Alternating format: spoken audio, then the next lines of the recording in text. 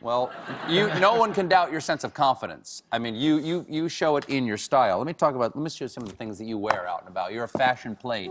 This right here, Yeah. that is you. I gotta say, you look good in this. This would get me punched in the face if I wore that out. Here's another one. This is you just on a chilly night, just keeping toasty warm. Yeah, it was cold. You know, it was cold here. I was actually here in New York Fashion Week. I was running around and I got a little cold. You see, I have my lint roller in my hand, if you can tell. If you look closely. you, you travel with a lint roller? you know, I was afraid that the jacket was going to get on my clothes and, you know, the mm-hmm. whole get down. So- You know, you could pay someone to do that for you, you know. yeah. yeah, I'd rather do it myself. And this one I like too. The glasses right there, they don't actually have lenses in them, do no they? lenses. I see better without them. Wow.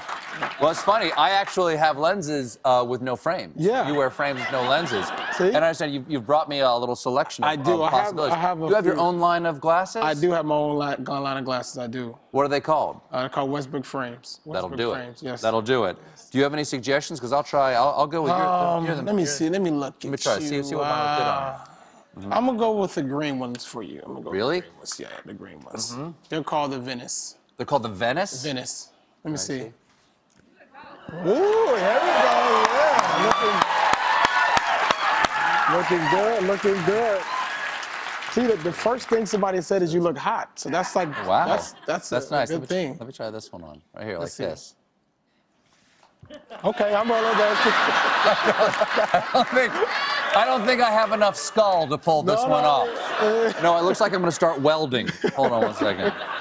Let me try Well, those are even bigger. Try this one right here. You want to try one? You want to try a pair right Okay, there? I'll go with these ones. I'll try it there. I'll try these mm-hmm. ones. I think I look a little bit like mid 80s Sally Jessy Raphael. you look, those are nice because those actually are camo pattern because you can wear those and no one will know you have them on. Not at all.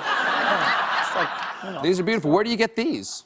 Uh, you can get these online, westbrookframes.com. Mm-hmm. And and you also have your own line at Barney's I do, yes, I right do. now. Uh huh. Yes. Now, are these the kind of clothes that will look good on a guy who is not six foot three and an NBA player? Definitely, 100%. I could wear them. Uh, yeah, yeah, sure.